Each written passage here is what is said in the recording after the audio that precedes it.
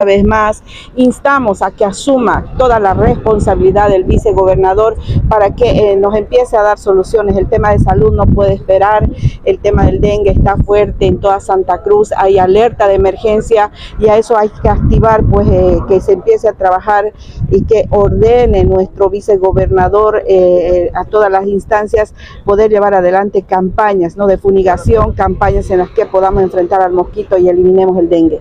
No, en absoluto. Se está demostrando que Santa Cruz se está desordenando más. Ya cuando el gobernador estaba en Santa Cruz no ejecutaba el presupuesto, apenas un 17% logró ejecutar. Imagínense ahora desde Chonchocoro. Es una total irresponsabilidad por parte de los asambleístas de Creemos al no permitir que asuma toda la gobernación el vicegobernador que ha sido elegido democráticamente. Esperemos que en las próximas horas eh, este, pues entren en razón y que de una vez tengamos una autoridad, una autoridad eh, llevando adelante la gobernación y solucionándonos los problemas de salud. Se viene educación, se viene el inicio de clases y también hay responsabilidades por parte de la gobernación en sentido a los tecnológicos que no se está dotando, no se está eh, implementando eh, equipos mobiliarios, que es parte de su responsabilidad. ¿no?